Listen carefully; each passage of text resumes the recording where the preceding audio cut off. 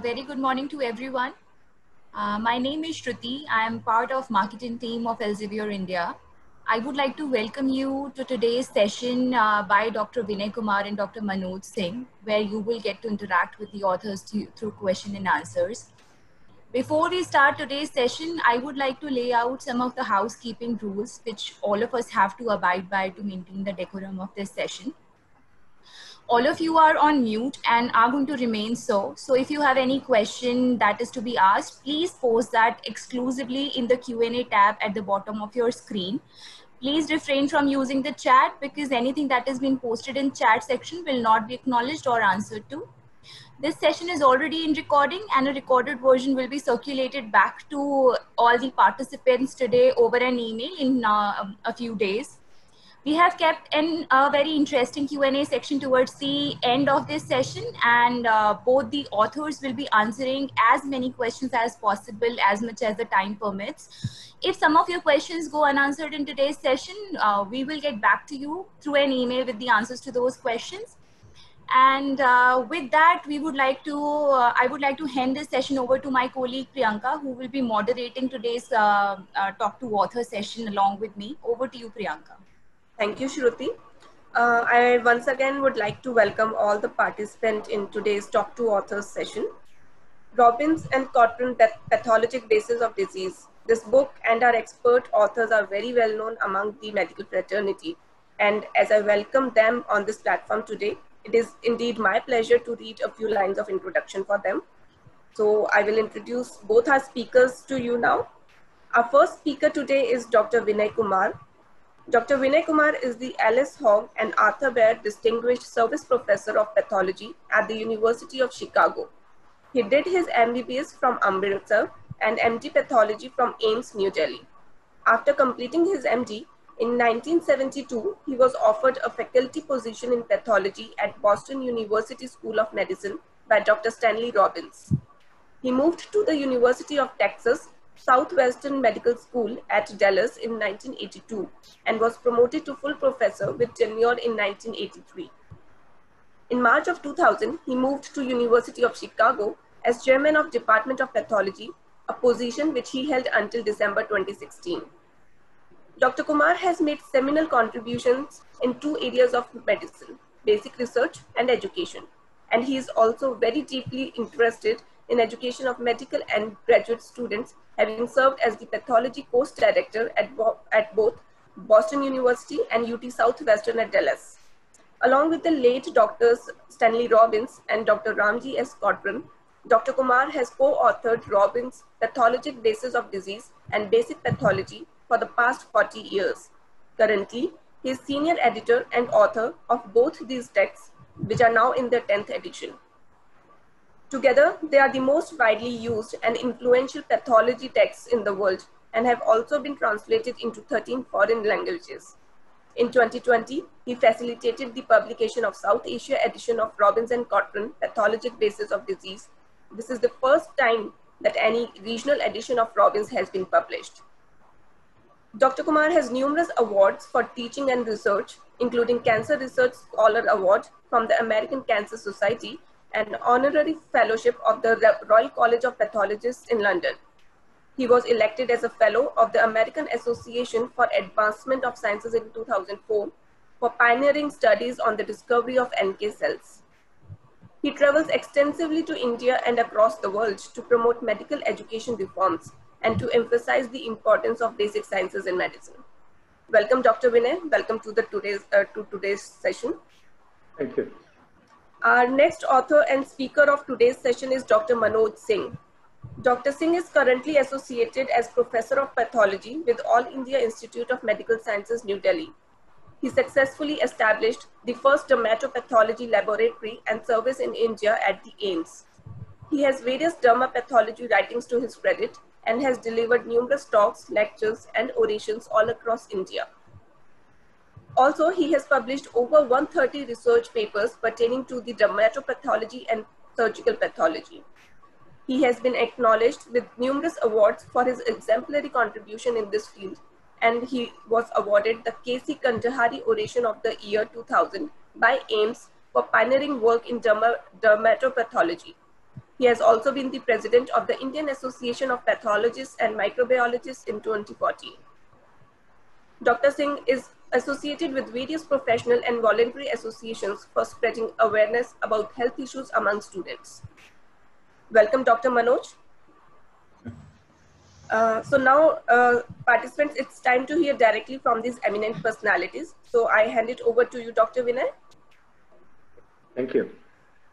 Okay, first of all, uh, I want to thank uh, Elsevier India and people present today here and people who have been working behind the scenes in making uh, the South Asia, Asia edition, as mentioned earlier, the first time an edition which is regional, which has regional content added to it that has been made. And I'm actually very proud of it because it is my country, India, where this is this is happening. So uh, thank you all Elsevier India for making this possible. And uh, I also want to thank every one of you who is attending it because uh, you may not realize that authors exist only because students exist. So, so if there is nobody there to listen, then what do we do? Futile. So I always consider uh, education as a partnership between students and teachers. There has to be a dynamic interchange between the two all the times and respect for each other. That's the only way education succeeds. And uh, with that in mind, I, I, thank you, as I said, and I'm very respectful to all of you who have come to listen today. And I hope you will find uh, what we are going to say is interesting. So I've been asked to sort of talk about the new edition of the main book, the Robinson Cotran Pathology Based Diseases. So before I, before I tell you what has changed, I want to emphasize to you what has not changed. That may be an odd way of starting a presentation, but it's important. What has not changed is this. When Dr. Robbins published the very first edition of his book, he, the book was very different from any previous pathology textbooks most pathology textbooks at that time were descriptive. They were just descriptions of morphology, microscopy, electron microscopy, or this and that. Robbins said that was not enough. He said pathology concern is concerns with mechanism of disease. Pathology is a bridge between basic sciences on one side and clinical science on the other side. So it's actually the foundation of the practice of medicine. That is why what you see in our books right now is every topic starts with etiology, which is the cause, pathogenesis, which is the mechanism of the disease, morphology, which is the manifestations of the tissue and organ, and clinical features. Now, these things are taken for granted these days, but when the book was first written, this was not the way pathology was taught or written. So that aspect of the philosophic aspect of, uh, of Robbins pathology, which is pathology is the scientific foundation of the practice of medicine. And when I say medicine, I mean medicine, every, every specialty, internal medicine, surgery, you know, dermatology, uh, you know, uh, pediatrics, uh, GI, cardiology, everyone, everyone has to understand pathology. So pathology plays an extremely important role in education of students, and I think it's uh, uh, appropriate that we discuss, you know, what the books contain. So, so what has changed? I'll talk to you about the new information that's been added, and and and you know people often don't understand realize the, that when we add new information, then we also have to take out something, because Robbins' book of pathology, the one that you have, was 1400 pages when it started 60 years ago. It's still 1400 pages now. How can how is it possible? Unless when we add material, we don't take out something. So we have to be very careful when we do a revision as to add information which we must, the new, the new information, but also do it in a way that it doesn't keep on increasing the book, make the book fatter and fatter and fatter to the point where it has become indigestible, so to say. So, so, so that I, I won't talk to you about what we removed. And there are things which are out of date, for example, theories and hypotheses and things which are no longer valid, or which were previously there was a page of it. Uh, those things have been removed, but without affecting the flow and the content of the book.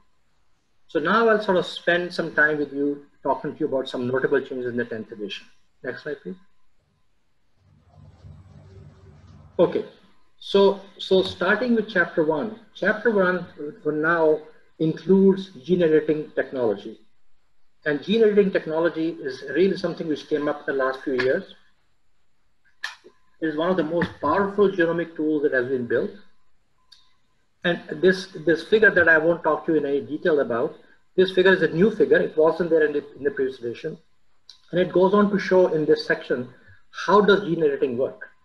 Basically, gene editing can remove a disease causing gene and or add a desirable gene. And this can all be done without having to go through the embryo and blastocyst and so on and so forth. So, so it's a very powerful tool. And I think, for example, uh, if somebody is born with thalassemia, uh, the thalassemia gene can be deleted and or sickle cell gene can be deleted or you have muscular dystrophy, muscular gene can be deleted. All these things are in the process of being developed and they're being done mostly in experimental animals so that they are, we know they, they are safe because sometimes when you change the genome, there are unexpected results. So we would never go to humans uh, right away. It will take several years, but but the two groups which develop this uh, this this process independently, I'm I'm absolutely certain will get Nobel Prize in medicine in the next three or four years. So that's one of the most exciting things we have added. Next slide, please. Now, I'll sort of go from the beginning chapters. The, the, the second chapter in the book is uh, entitled Cell Injury, Cell Death, and Adaptations. Cell injury and cell death is very fundamental to human disease. Every disease eventually affects the cell in one way or another. Okay?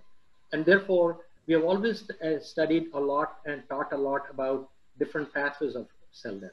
And until recently, there are two pathways recognized. One called necrosis, other called apoptosis.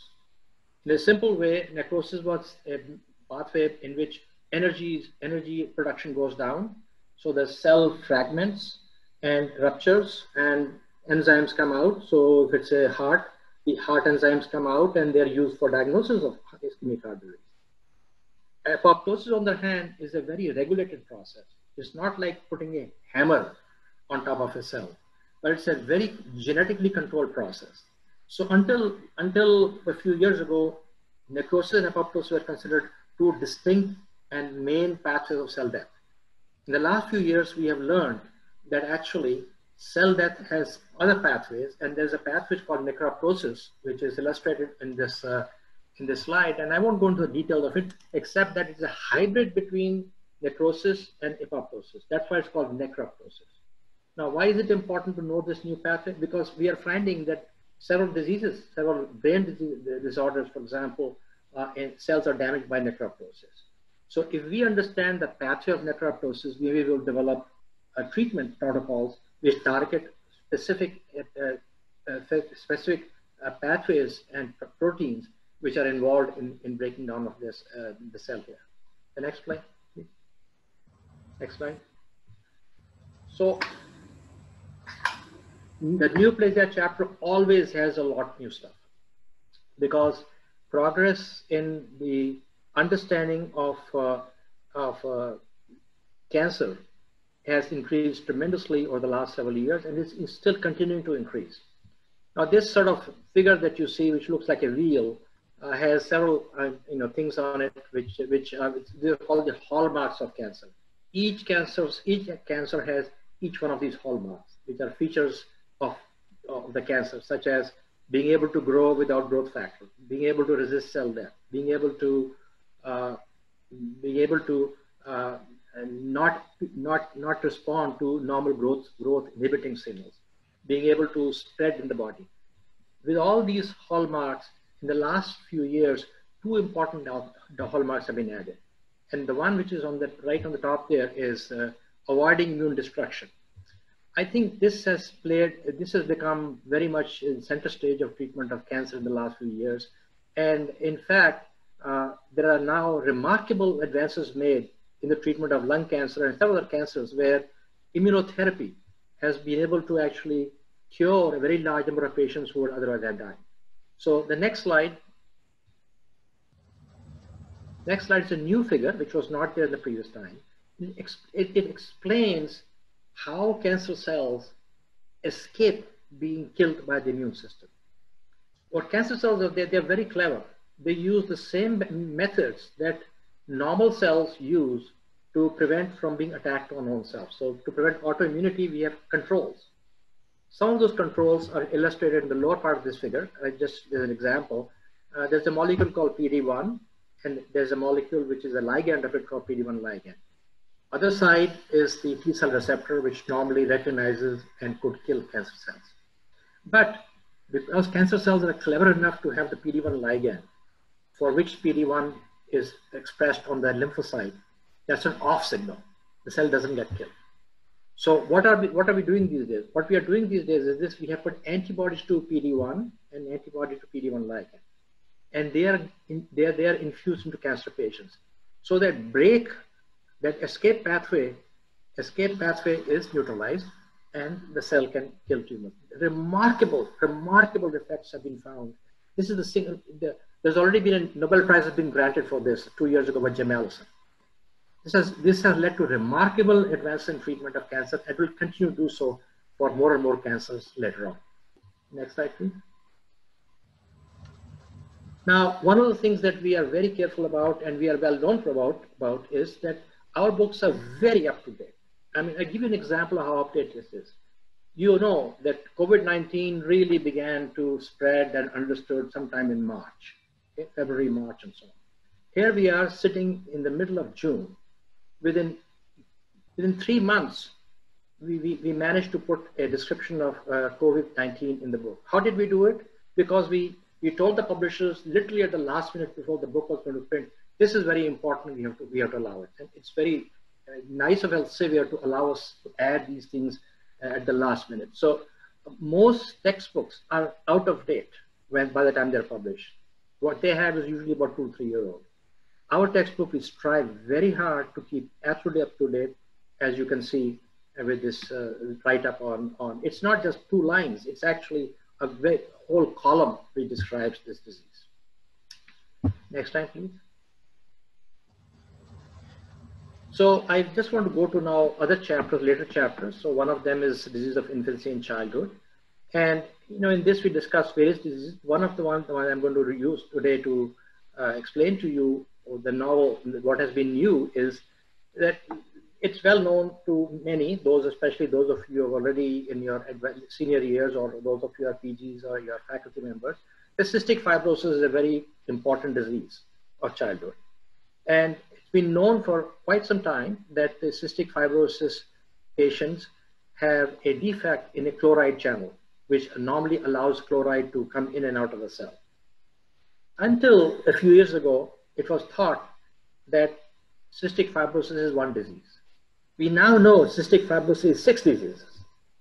How do we know that? The next slide will show that. Next slide, please. You know, I don't want you to get confused, and even when you become students and you have to read the book, I don't want you to try to memorize this thing. This is not for memory. This is for understanding disease mechanisms, okay? And you understand disease mechanism, you will understand what the new treatments are. So this slide shows in a very detailed form uh, that on the top you see one, two, three, four, five, six.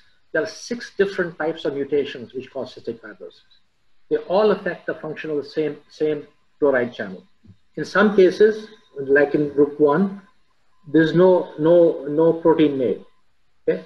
Second one, protein which is made is non-functional. Third one, protein which is made but which channel, channel function is poor. Now, because we know now that cystic fibrosis is molecularly six different diseases, different treatments are being developed for different types of mutations in cystic fibrosis. And right now, in uh, FDA has approved clinical trials of three different molecules. It's interestingly, they are called uh, they are called correctors, amplifiers, and potentiators.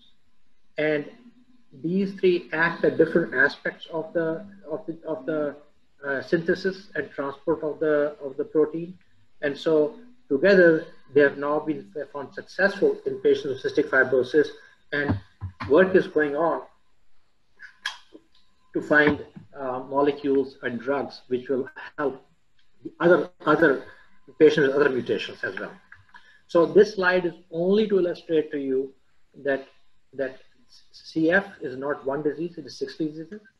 And each of those six diseases has a different form of treatment. And the treatment is not in hypothetical stage, it is already in clinical trials. The next one, please. Yeah, so, so it, it, this is something which is very interesting. Uh, there are several people in the last five, ten years who noticed that uh, as humans age, they develop small clones of hematopoietic cells, okay, which are scattered throughout their body. And they seem to have one or two mutations which are in the pathway towards becoming cancer. So they are sort of precancerous mutations. So it was expected that these patients who have these, uh, these called uh, um, clonal hematopoiesis of indeterminate potential, uh, abbreviated CHIP, will likely get more leukemias because they already have, they already have, uh, uh, they already have cells which have gone part of the way to, to becoming cancer. What came as a surprise in the last four or five years, which is why we put this in the book, is this, that when people were followed over a long period of time, most people died of atherosclerosis, not cancer. Nobody thought atherosclerosis and cancer are related diseases. But now we are beginning to understand why having these abnormal clones makes atherosclerosis, disease of the arteries, worse. And so this has become a very important tool in now following people in terms of uh, development of atherosclerosis and the pathway that is used, which we still don't know. But but we have bring brought in this discussion. Again, our goal is not just to make you memorize things, but for you to understand things. This is mechanisms of disease, which is what, what we are trying, to always try to teach uh, through our books. Next slide, please. Now, one of the things that we do uh, every time when we sit down to uh, sort of revise, uh, revise the book, uh, we sort of take a look at all the editor, the three of us, sit down, and of course we have read all the chapters before, and we, we, we say that, okay, it looks like these three chapters really need fresh work. They need a fresh pair of eyes.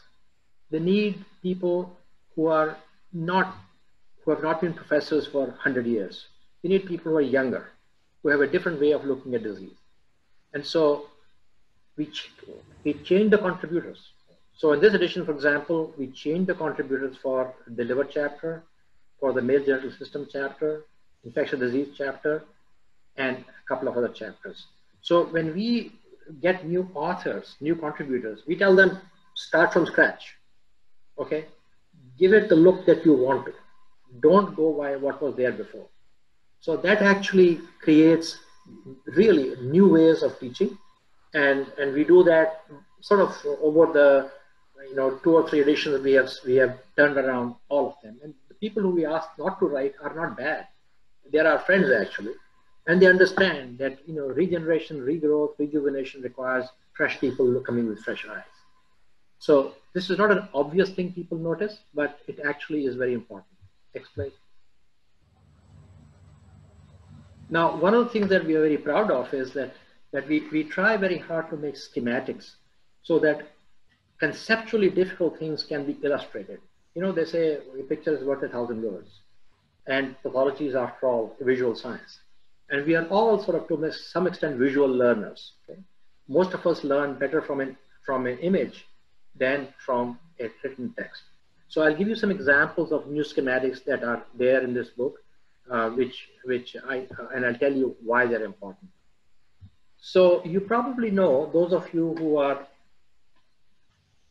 who are advanced stages of your MBBS or who are MDs, you know that hepatitis C, which until four or five years ago was a lethal disease, is one of those, it is a disease which can be cured actually. And how did the cure come about? The cure came about by looking how drugs for HIV were developed. You know, HIV right now is not a fatal disease. People live with HIV for 10 years, 20 years, 30 years. But they also, but that is because they have now developed four or five different drugs which attack different parts of the life cycle of the virus. So using the same principle, drugs were developed for treatment of hepatitis C. So this figure actually shows the life cycle of the, of the virus coming into the cell and then going through various steps in, in, in replication. And in the, in the, those red things in boxes are inhibitors or targets which are attacked by drugs. So there are combination of three drugs which affect different part of the life cycle of the hepatitis C virus. And the easiest way to illustrate is through, through this rather than just text. Text, of course, is there, but there's a visual way of seeing this. Next slide, please. And uh, again, some of you will know that uh, heparin, which is used as an anticoagulant, about 5% of the people who, who, use heparin, they get very severe thrombocytopenia. In fact, they, they bleed and they also have thrombosis, very sort of con contrasting manifestations. And this has been not understood well until a few years ago. And this diagram illustrates now what we know about heparin-induced thrombocytopenia as to how heparin molecules interact with platelets and how they make antibodies against them. Antibodies then go on to uh, cause aggregation of platelets, which, which uh, causes platelet activation and thrombosis or death of platelets uh, through removal by spleen. So again, complex disease, somewhat simplified by a new schematic. Next slide, please. And it's not always, you know, cancers and viruses that uh, uh, that uh, that we try to teach by by new new illustrations and so on and so forth. Even something like iron absorption, which has been known for a very very long time. You know, we've known about iron absorption in general for the last almost 50 years, but we keep on learning more and more about how, uh, how iron absorption is regulated. In this this is a new illustration in the in, in the book. And this now puts one of the last links that was missing in understanding iron absorption. And that is production of a hormone by erythroid cells called erythroferrone okay? Erythroferrone which is a product of red cell precursors acts on the liver in turn which controls the secretion of a molecule hepcidin hepcidin controls iron absorption so this is a mechanism by which the erythroid cells, by producing the erythroferrone, can influence iron absorption. And this is a new concept, and again, there's a new figure for that. Next slide, please. You know, some, some of the figures we make new are not because they're conceptually new. Wound healing is known for a long time. But we said, wouldn't it be easier for students if we make this a three-dimensional figure rather than just a plain two-dimensional figure? So here, okay, you know, it, it, there are there are there's no there's no advancement in the, in the understanding of wound healing, but it's an easier way to learn. We are constantly trying, constantly trying. Dr. Robbins used to say, remember one thing, it is not important what is written, what's important is what is learned. So we can't be satisfied because we wrote this thing, it's enough. We have to also be sure that what we wrote is actually helping the learning. And these are the kinds of things we do to improve learning. There's an example for doing something to improve primarily to learning. Nothing novel, nothing cutting edge, but nevertheless important. Next slide, please. Okay, so uh, I think I will hand over at this point to my colleague, uh, Dr. Manoj Singh, whom I've known for, I don't know how long, very, very long. Uh, uh he's an AIIMS uh, person, I'm also an AIIMS person. We meet often and uh, and we've done some some things together which has not to do with the book also. Uh, so so when uh, when the decision was made to have a South Asia edition and to have South South Asia edition had have content for South Asia, uh, I couldn't think of anybody better than Dr. Manoj Singh, who understands, is a very great, great good teacher, and someone I could rely upon. You know, you, there are a lot of people who say, "Koi karega, diya," okay but they actually don't deliver. So he, he does it and he delivers in high quality.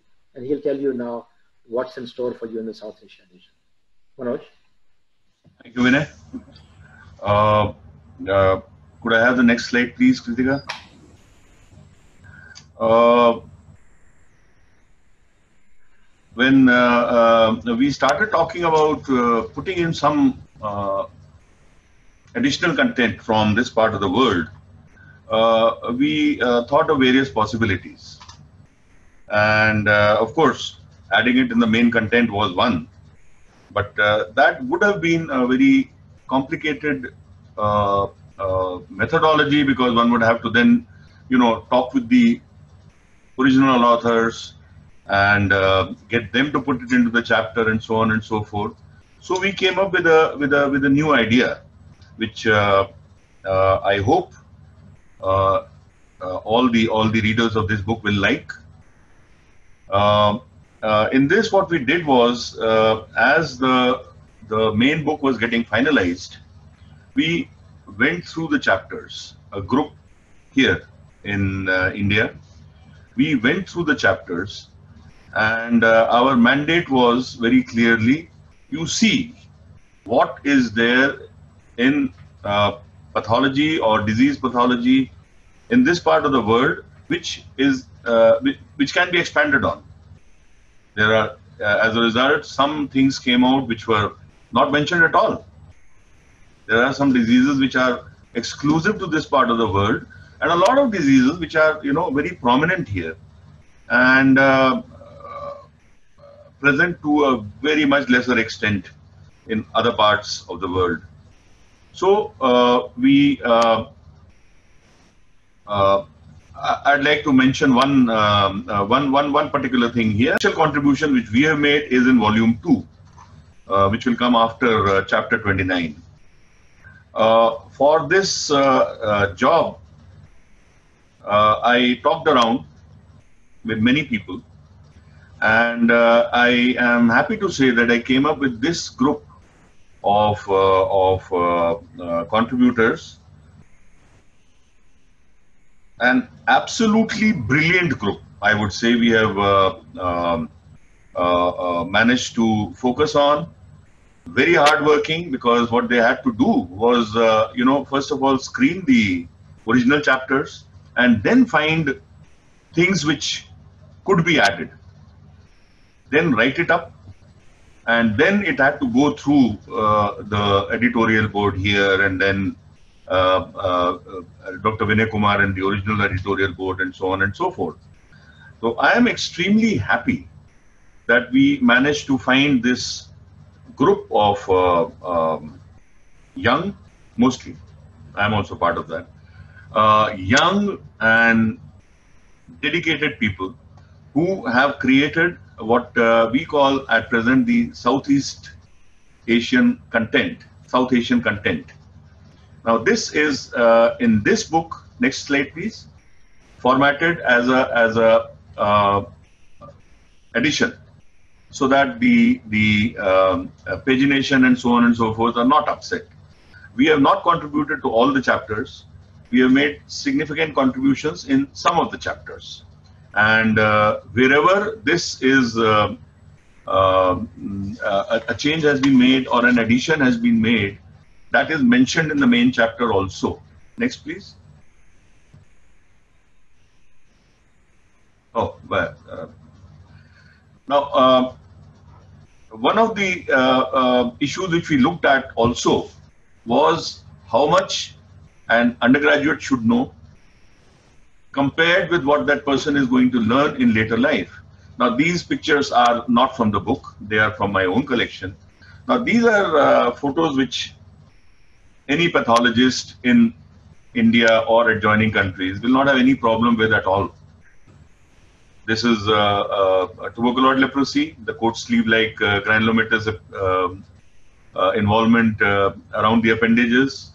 The next two slides are uh, uh, foam cells, lepromatous leprosy. Next slide, please. And uh, uh the special states are actually not relevant. Uh, uh, on the on the main slide, a pathologist should be able to make the diagnosis. But the question we asked ourselves was, how much does an undergraduate know about leprosy? Leprosy is a very common disease in our part of the world uh, you know, WHO says leprosy has been variable statements eradicated, removed, lessened, whatever. It's here. We are seeing as much leprosy in our hospital as we saw 40 years ago or more. So uh, the question is that these diseases, the infectious diseases, are uh, diseases which should be known to the undergraduate. Now, this type of, uh, you know, um, microscopic recognition and so on may be uh, relevant only if that person specializes. But this also is of importance for a person who is a pathologist, a dermatologist, a general medicine person, a pediatrician. So, in fact, the base knowledge has to be built in in the beginning. Next, please. Uh, so, um, as I was saying, um, um, the wherever there is a South Asian content, on the first page of the relevant chapter, it's mentioned, see additional South Asia content on page so and so. And uh, the index for both these is common. And uh, as I had mentioned, this is in two volumes. So the index will be there in both the volumes. South Asian content is only in the uh, at the end of volume two. So uh, uh, next slide, please. So our uh, uh, focus in the beginning was on infectious diseases. Tuberculosis, as you know, is a very, very common disease in our part of the world. And there are parts of the world where tuberculosis is not known or known now because of the large, um, uh, you know, um, uh, uh, influx and efflux of uh, people all over the world. But primary diseases, many of these are, they don't occur. So what we see of tuberculosis, of leprosy, is something which, uh, which uh, may be an eye opener to uh, medicine practitioner, I would say, uh, in other parts of the world. So we felt that it is important that perhaps the the uh, at the undergraduate level itself, a person should become aware of the fact that there are diseases which have a differential uh, incidence in parts of the world. And if you are staying in one part of the world, you should know something about what happens in other parts of the world. Because uh, not just people uh, and residents, even uh, medical staff are going from one country to the other. Next, please. Manoj, may I interrupt for a second? Sir, May, may, may I add something here? please do. So, so uh, if you go to the previous slide, can you, uh, can you go back to the slide? Yeah. So, so uh, I want you to understand one thing. It isn't that tuberculosis is not discussed in the main book. In fact, there's a long, big description of tuberculosis. But intestinal tuberculosis, which has disappeared from the Western world because of use of pasteurized milk, is still there. Still there in India. So the morphology that we have added to to, to in the South Asia edition is a morphology, morphology mainly, in fact, it, it says in the beginning, because intestinal tuberculosis is um, more common here, the more detailed description given. So, so the description of intestinal tuberculosis, which was two lines in the, in the main book, is now a whole paragraph or the whole thing. On the right side is leprosy. And Dr. Manoj showed you those beautiful slides of leprosy.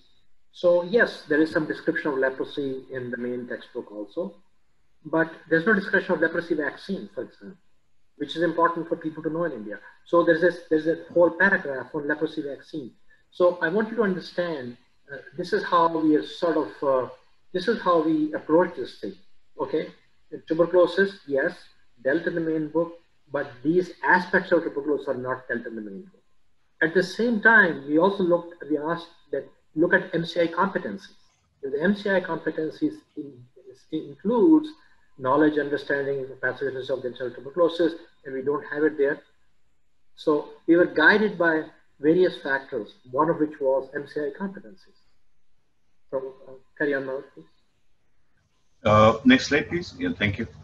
Uh, and we then, once we started looking at these, you know, the, the, the different organ systems and and the the chapters in um, in the main book, we started discovering that there were also other conditions where uh, you know the incidence in this part of the world is very significant, and these, uh, of course, all diseases are seen everywhere, but general awareness may or may not be there.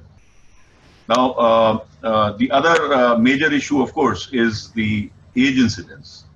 There are cancers which have markedly different uh, uh, maximum age of uh, incidence, age of maximum incidence in various parts of the world. Etiopathogenesis of cancers is different. In India, um, a very, very large proportion of cancers are tobacco related. Mouth, throat, uh, lung. Uh, uh, in fact, uh, mouth cancer is so common in our part of the world, and uh, uh, the consequent treatments of that um, because of tobacco chewing. We came up with other similar issues which we have uh, included here because we felt that it would be significant and important for an undergraduate studying pathology anywhere in the world to know that these do occur. Uh, as part of the South Asian uh, content, uh, there is uh, one particular thing which I would like to highlight and make a special mention of. Uh, you know, when you remember, you mentioned that we um, uh, have not at all, even though we have something on hematology, but uh, um, in the main main book, but we have not uh, mentioned anything about transfusion medicine. Next slide, please. So I asked the people in our blood bank, and they have done an absolutely astounding job of writing this small little chapter on transfusion medicine. This is our uh, blood transfusion officer, Dr. Poonam, and uh, three assistant professors who are now uh, working in the blood bank. And this, I think, is uh, a small little chapter which will be of great benefit, not only to undergraduates, but also to almost all postgraduates in any branch of uh, medicine and um, um, it's it's concise. It has all the relevant details, and uh, of course, uh, it would not be enough uh, to teach a person, you know, adequately to run a blood bank. But background knowledge, yes, I think this has got absolutely adequate and very well presented uh, stuff. And uh, I think uh, these four people have done a brilliant job. Uh, If I may add, uh, first of all, these people have done a brilliant job completely, okay? And they have, they have, they have condensed in five, six pages everything that's really important about transfusion medicine. In fact, it is so good that I think in the next edition of the international edition of Robbins, we will try to include some of this in the form, in, in some form. Okay? We will uh, either add it to the blood chapter or add it somewhere else because I think we are not teaching enough of transfusion medicine in the US. And in India, it is being taught very well. So, you know, there are, you know, these, these exchanges occur in both directions. Um, next, please, Kritika. Over to you. Uh, okay. Thank you, Dr. Manoj and Dr. Vinay it was uh, really very insightful and as we rightly say it is best to know about a text uh, a book from and its making from the makers themselves. So now we are moving on to the q&a session.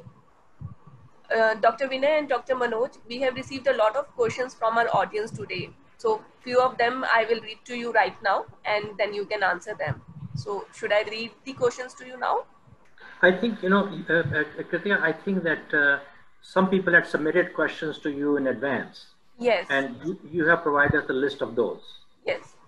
So I, so, I think that I, I, I think that we might first go and answer those questions, and then later on, depending on available time, you know, uh, answer other questions uh, from the audience. The one thing that I want to tell the audience is this: that we are not going to answer questions today on content.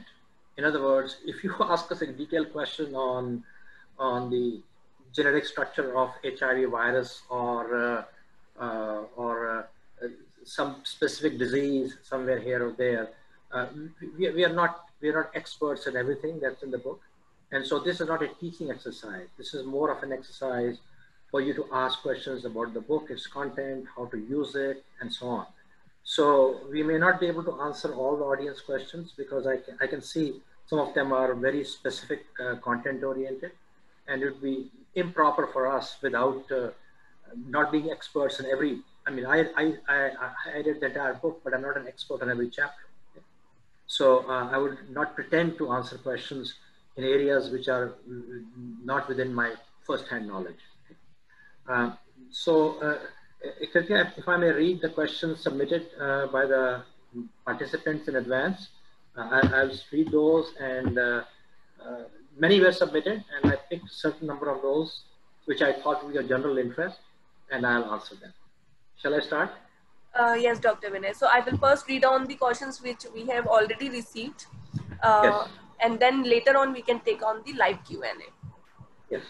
So, uh, Dr. Vinay, many of the participants had asked the same question about what are the latest updates in the new edition of Robbins. I know you have covered it uh, during your talk, but anything else you would want to add to it? Yes, yes. You know, obviously, you know, I could present everything in the talk, uh, but I can highlight certain additional things that we did not have in the talk.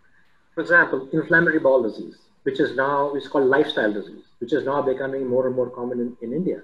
Ulcerative colitis, and uh, Crohn's disease and so on and so forth. Okay, so we have a lot of updated information on the pathogenesis and also to some extent manifestation of diseases. We have the latest classification of lymphomas.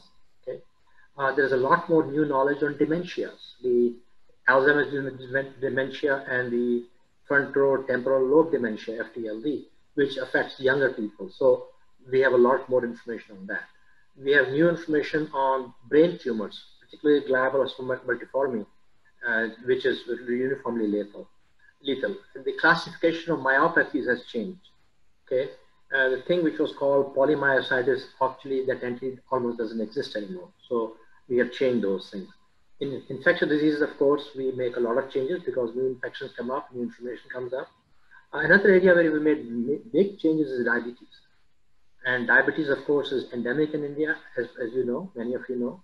Uh, it's a disease which is all over the world, and uh, a lot still remains to be learned about diabetes, in part because we still completely don't understand insulin function and signaling. So we have a very nice new section and new figures, actually, on insulin signaling, which help us sort of understand uh, type 1 and type 2 diabetes. Similarly, cardiomyopathies are becoming more and more common, and there are increasing number of genetic causes for those. So we updated those. So, you know, in, in almost every chapter, we have updated something. Okay? These are just examples of those things which are in addition to what I showed you earlier.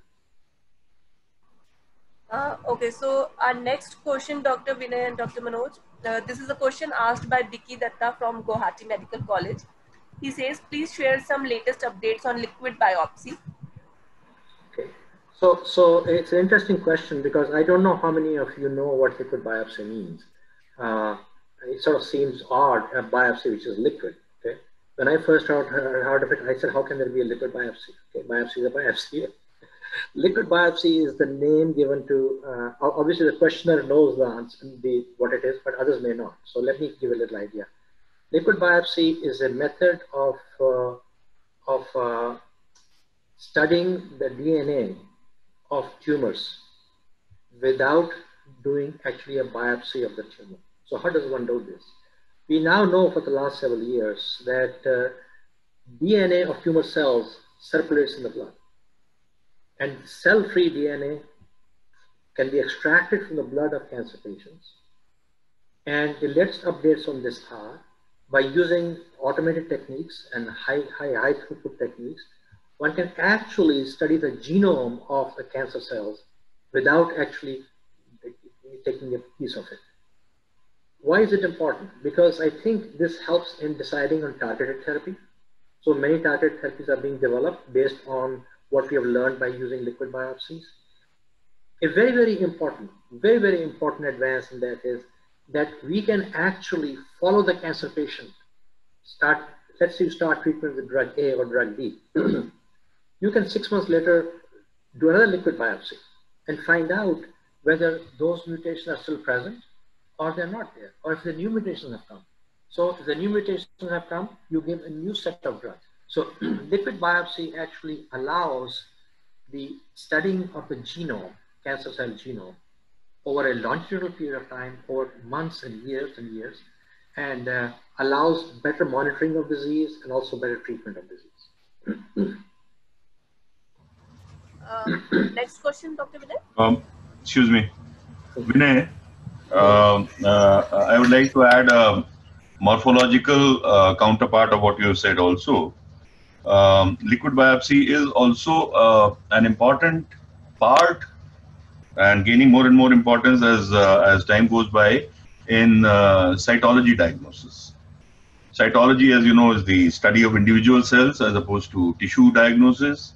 And uh, uh, liquid biopsy cytology or LBC is a different way of preparing the uh, collected sample, whether it's an exudation yeah. from a tumor or it's uh, actually a liquid specimen, a urine or a pleural fluid.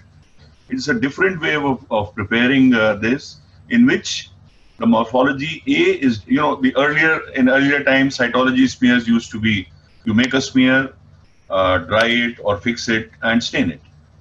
So in, uh, in this uh, liquid biopsy preparation, the smear is more uh, homogeneous.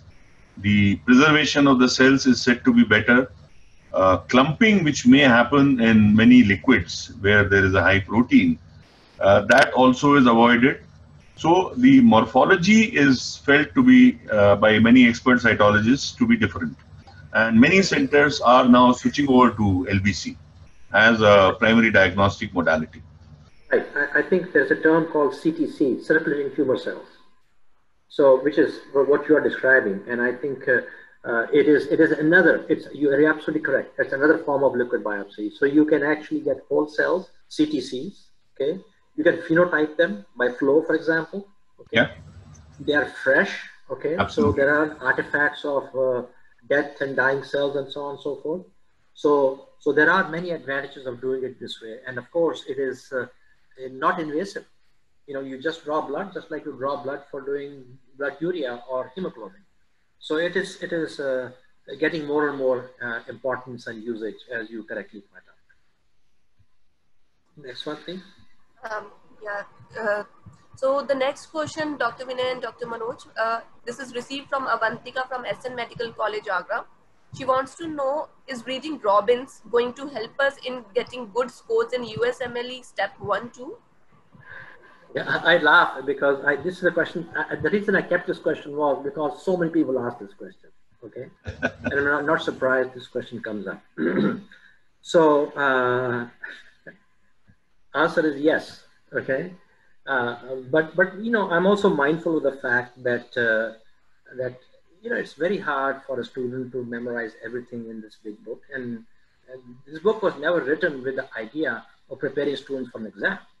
This book was written for preparing students to understand disease mechanisms, okay, and be uh, scientifically trained in practice of medicine. But then uh, again, uh, answering your word, and, and Kritika, the next question, which is a part related to this question, says, Robbins is such a high yield book that every single word of it is important.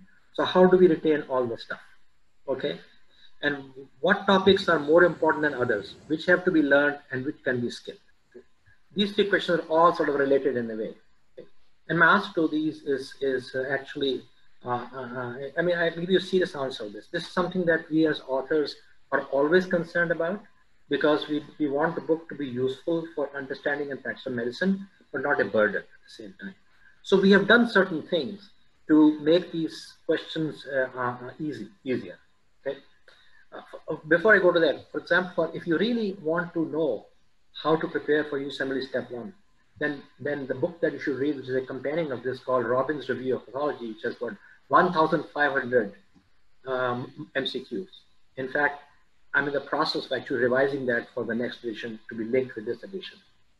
Uh, so that's, if for strict preparation, that's it, I would go there. It's not for understanding, it's for preparation only. But what we have done, realizing the difficulty students face in doing this edition is something which is it's subtle, but I'll mention to you. So when you read the chapters, what you will find is this, at the beginning of any section, there is a sentence or two sentences in boldface. Okay. Now, to us, those are the, those are the essence of what is to, to follow. It tells you what the take-home messages by reading those. So if you read that, then you read the read the rest of the book, rest the rest of the chapter, and then you come to this box is called key concepts. So if you now match the key concepts with the first the, the bold-face statement, that tells you what is really important and what is really probably going to be tested. So in that sense, yes, it can help you. Provided you know how to use the book. And, and we are trying to make it easier for you to use the book by having this boldface. Previously, we used to boldface everything and anything, and students had no idea whether when we boldface a phrase, what it meant, boldface a sentence, what it meant, boldface uh, in, in, italics, what meant something else. We have completely removed all of that. There's only boldface, and boldface is only important concepts at the beginning of a section, then summarized at the end by a section called key concepts. So that can help you to prepare for your exams and also help you deciding what's really important that must be remembered and what's less important to be understood but does not have to be remembered. So as an example, the, the, I showed you that six different genetic forms of cystic fibrosis. Absolutely not, you should not remember those at all. You, you will see in that chapter, in the first sentence of the chapter, doesn't talk about six mutations of cystic fibrosis. Okay? And the key concept, it says there are many genetic forms with different treatments, but doesn't ask you to memorize any one of them. So we're trying to do these little tricks uh, in presentation that can help the student uh, address the issues that are asked. Uh, may I add, um, Vinay? Mm, sure. Uh, there are actually three questions which uh, are looking at different aspects of the same issue which uh, Dr. Vinay Kumar mentioned about USMLE step one and um, high yield book, every word is so important. And then the third one, uh, which are the topics which are more important than others. Uh, I would like to rephrase these three questions into one question. Um, how important do you think comprehensive understanding of disease processes is.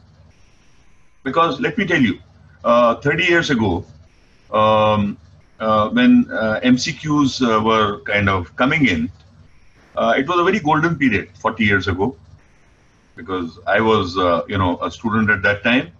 And, um, you know, they we used to have those USMLE books, which were multiple choice questions. And when we got multiple choice questions here, we knew that many of the questions would come from there. So if you would go through those MCQ books, then many of the questions you knew the answer to.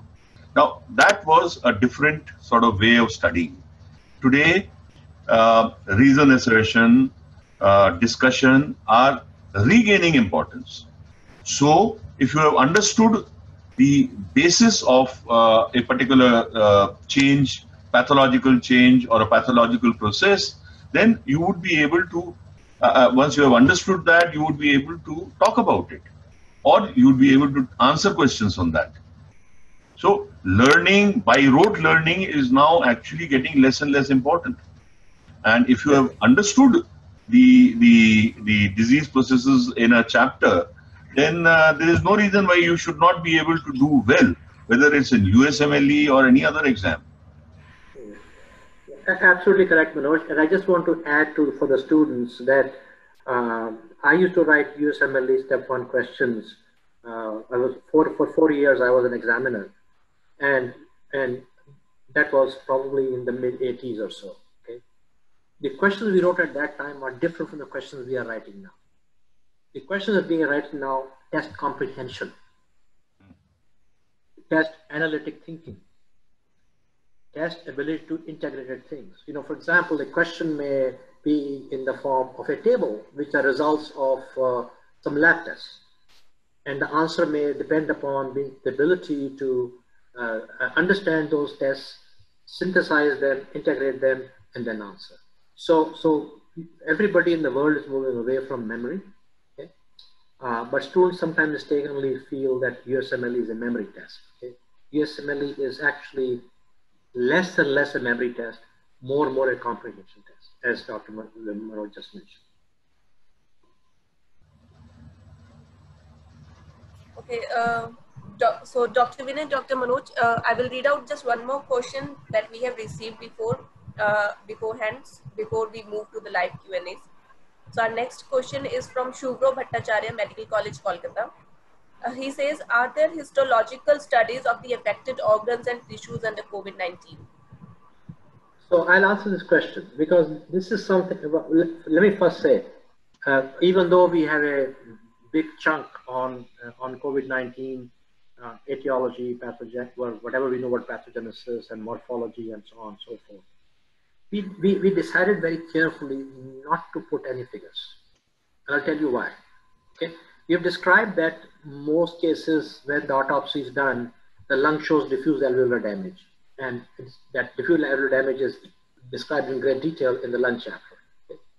The pattern is not different from other forms of diffuse alveolar damage. In sepsis, for example. The reason we didn't put any figures is this. So, as, I mean, I told you that we always try to be very up to date, but we also try to be careful. Because what we are finding now, what we are seeing at that time was that some of the very early studies where electron microscopy and these were detailed yeah. were flawed. What they were causing, they were causing viral particles in this cell or that cell. And other people saw those, experts saw they said these are not viral particles at all. These are these are artifacts. Okay? So we we are not at a stage where we know enough about the pathology of, of COVID-19. And so it's sort of unwise to, in a student textbook, put figures which are not based on well-established, comprehensive, you know, and proven facts, which everyone accepts. So, so uh, I chose to answer this question as an example of how we decide where we will put any figures and how we decide we won't put any figures. It's not that we were shocked, there were plenty of figures available. Yeah, uh, I, I, would like to add that uh, over the past um, uh, uh, four, uh, four or five months, uh, as all of us have seen, the clinical description of of this particular infection has changed so dramatically. You know, there was a time uh, in the beginning when people were saying that um, uh, corona kills by uh, myocardial infarction. Then it veered around to saying that corona kills by um, uh, pneumonia, severe, non-treatable bronchopneumonia. And uh, uh, of course, now people are talking about the cytokine storm. The, the consequently, there are at, at present, some studies available on the uh, pathology of uh, uh, autopsies have been done in uh, corona cases. And uh, the results are so diverse that it would perhaps be uh, fallacious to try and say that, okay, this is the, the sort of significant change in corona disease and um, we should write it in a textbook. Because I'm pretty sure that over the next year or so, we will have a good uh, picture of the pathology of corona disease. You know, I mean, at the moment, what is what seems to be happening is that corona is several different diseases, because some people have predominant manifestations in the heart. Now, uh, many, many, many people are now getting the lung manifestations. There are also supposed to be other manifestations of kidney failure and so on and so forth. They still haven't been linked together. Perhaps Vinay, in the next edition of the book, you might like to. Yeah, you know what? One thing which we, we, we of course, we have limited ability. Actually, you know, when the uh, books are printed, uh, the publisher never prints more than six months expected supply. So the books go through reprints. So sometimes when the time comes for reprint, we are able to carefully insert a few lines here and there without messing up the page numbers and so on and so forth. As you mentioned, uh, uh, young children are dying of a disease which resembles Kawasaki disease, which is which, which injures the heart. There are people who have developed gangrene of the toes. People have developed strokes. Yeah. So, so, so, so, it is too early to know how exactly the, this, this virus causes disease. And as with genetic diseases, okay, it may turn out that COVID-19 is one umbrella name, but there are four or five different subsets of it. And some patients get more of this, some patients get more of that.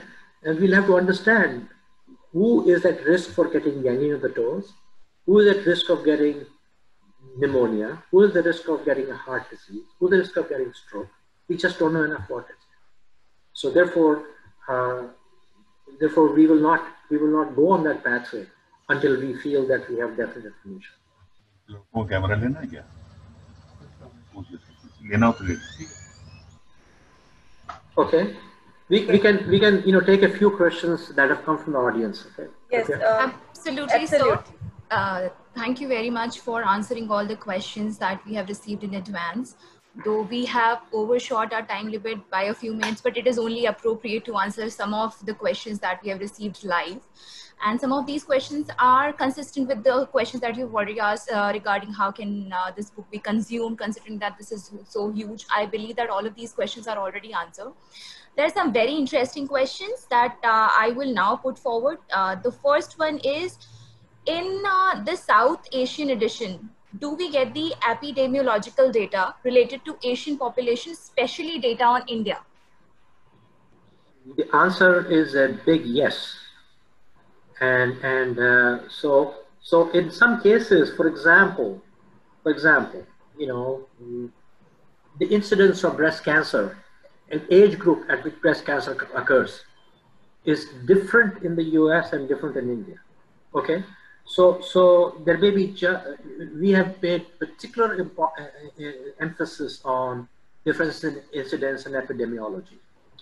And in fact, to the extent possible, we have actually gone to South Asia and in some cases included Southeast Asia. Okay, you know, Thailand, um, Mal- Malaysia, and so on and so forth. Although the focus is on the Indian subcontinent, Pakistan, India, Sri Lanka, Nepal, Bhutan, and so on and so forth. The answer to that is a good question, and uh, uh, that is one of the things that we paid a lot of attention to, and you will you will find all of that. So the next question uh, here is uh, for each cancer, can incidence of each cancer be given separately in the Indian scenario, especially in South Asian edition? So a lot of these questions are pertaining to South Asian edition, and a lot of people have asked us when this uh, South Asian edition will be available in the market as well. So these are the kind of questions as- which are inundated. Uh, yes, well, uh, as, as, of what I found out just a few hours ago, okay, and the book is ready to go to the printer, and I'm told that in mid-July, the print book should be available in India. Mid-July, late July. Uh, then there is a question uh, where people uh, want to inquire if there is any update on gene editing. Yes, absolutely. I, I, I in, in the very first slide, I showed you uh, the gene editing. It was called the you know CRISPR technology, gene editing. Yes, absolutely. There is there is not just an update. There is actually a whole section written on. Uh, now there is one question where uh, students probably want to understand how can this uh, book can be consumed for the second year students, uh, specifically to correlate pathology and medicine in the second year. To so sorry, say, say that say the question to correlate with what? How can this book be used to clinically correlate pathology and medicine in the second year itself? Well, I think that uh, I mean, if you see the book, you you will notice that uh, we have a fairly large section after each disease called clinical correlations, okay, or clinical features. Sometimes we say correlation, sometimes we say features, and that attempts to, which is what I told you, the philosophy of the whole book is this: to attempt to correlate the me- disease mechanism with the cause, the disease mechanism, and its effect on the patient, on, on, on, on patient. So for example, when we discuss inflammation, uh, we, we discuss patients have fever. What causes fever? Okay, what drugs affect affect fever and what drugs are used to reduce fever?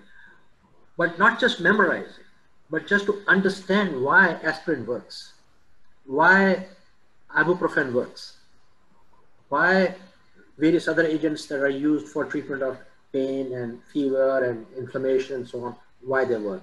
And yes, it, it, it there is a very, very good correlation that we have made sure. Uh, and sometimes we have clinical pictures actually. You know, for example, we have a clinical picture of a of a of a, of a woman who has scleroderma, systemic sclerosis, and the claw-like sort of fingers.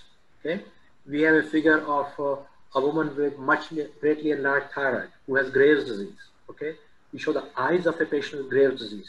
So all clinical pictures. Okay, and this is what made Robbins' book. In fact, I can tell you something. when the first edition of the book, which is well before uh, I was there, uh, was, was sent for review to other pathologists, it came back with terrible reviews because the, the reviewers said the book doesn't contain enough morphology, it contains more clinical features. And when Robbins read that, he told me, he said later on when I was there, he said he was so happy to see that because that's exactly what he wanted to do to make it a clinically oriented book. Uh, so I will just ask uh, one last question before we close today's uh, session, sir. Uh, uh, this question is um, uh, from Shankar Sundaram, and it is um, they are asking what is the major difference between the Southeast Asian edition and international edition, and which should be followed for us as pathology residents. Okay, well, Manoj, you can answer that question. Um, in the South Asian edition, actually, as I told you, we have uh, added a section of um, uh, things which we felt were uh, either not there or they were not adequately discussed in the main book.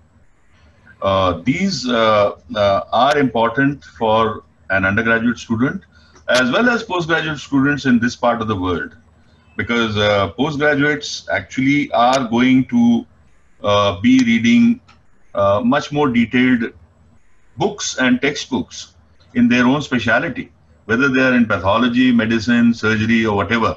But understanding basic pathophysiology, you would need a grounding here.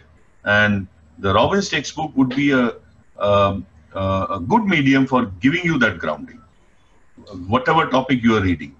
And that precisely is the point which we are trying to sort of uh, increase and improve the, the, the pathophysiology and the, the, the differences in uh, other parts of the world. So actually what we have uh, uh, at the moment are, you know, a mixture of various, uh, uh, various things. Uh, epidemiology, different epidemiologies are there, different mechanisms are there, you know, some uh, it's more of a khichdi. Because this is supposed to be a book which is going to sort of become the basis for a holistic knowledge of pathophysiology of disease, not only specific issues or uh, uh, uh, so on. And I hope that this trend, uh, trend will continue in um, in future volumes of the book, so that understandings are improved. So, so you know, to answer a very specific, uh, because I think the question was asked by a resident that how can residents sort of benefit from it, for example. So, for example, uh, in the uh, section, there's, there's additional material in the South Asia edition in which the frequency of various translocations in acute myeloid leukemia are presented and the frequency of the, the, the mutation, the, the, the, translocations and cytogenetic changes are not very different from they are what they are in the, in the rest of the world. But the frequency is different. Okay, so for example, you know, the frequency of EGFR expand, uh, you know, amplification is different in patients who are have lung cancer in India and lung cancer in the US, or those who have breast cancer in India versus breast cancer. So, so these are not for undergraduates. These were written because we knew that a certain proportion of uh, postgraduates will also use this book. This is not a substitute for a book on breast pathology okay, or bone pathology. The postgraduate students will have to read those. But in terms of getting a general overall idea of the differences between incidences and, and to some extent expression of disease, it will be useful for them.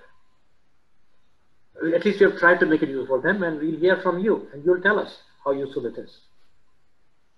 All right, so so uh, I mean, as we speak, we are inundated with so many questions. Some of these are suggestions. Some of these are very topical, specific, content-related questions where people are inquiring regarding what is covered, uh, what is covered in detail, what are the topicals that are there in the book. Maybe what we can do, we will share the complete list of question and answers that we have received uh, during this live session, and we will share it across uh, to both of you, and maybe then we will gather the answers and send the answers back to uh, the inquirers. Um, with uh, this, uh, I would like to thank both of you once again. I would like to thank all the attendees who have joined us this morning to learn about the subject and uh, the book itself. A few parting notes from you, sir. Well, uh, you know, as I said at the very beginning, that uh, authors exist because students exist. So you are the reason for our existence. You are the reason why starting in 1979, I spent more than 40 years writing these books because, because you tell me it gives you value. And it, since it gives me value, I keep on working on it. Most of you probably don't know how old I am, okay? But I, I won't, I won't tell you because otherwise Manoj is going to feel upset. ये मेरा बड़ा भैया लगता नहीं है वैसे uh, ये so so uh, we are thankful to the Elsevier staff for arranging this thing, but we are equally thankful to all the attendees who have asked questions. I can tell you, on an average, I receive two to three questions per day. I, these days, you know, Marak, there's a joke we made, okay, and it's uh, sort of a, a, a, in, a, in a parting way. Okay, so so uh, during certain months, you start getting questions from Yemen. Okay, most of us can't even put place the Yemen on the map of the world Yemen kahan pe okay? And so these questions come dear sir I am in the Sana'a School of Medicine in Yemen and I have the following questions. So so when these start, questions start coming we we forward them to our co-editors and I usually write a note. The Yemen branch of our office is open now okay because we know we know when they are learning what part of pathology in Yemen because that's when we start getting questions. So the Yemen Yemen Yemen branch has just opened a week ago, and today I have received three questions from Yemen. Okay? So we answer every single question that is sent to us. Okay, we never ignore any question, even if we don't have a full answer for it. We will always respond because we respond because you have taken the trouble of writing to us and we owe you to at least, you know, give you some sort of an answer for that. So thank you very much. And you don't have to go through the Elsevier route. My email address is known to everybody. You can write to me directly, as many people do. Thank you very much, sir. Thank, thank you, Dr. Singh. Thank you, Dr. Kumar. I think this was very insightful and we have learned um, a lot from today's session. With this, I would like to end um, this talk to author session, which is first in the series. I would like to inform all of our attendees today that we will keep coming back to you with a lot more such interesting sessions in the future. So please stay tuned to our Facebook page uh, to get information on upcoming sessions. With this, a very good morning and goodbye. Have a pleasant day, all of you.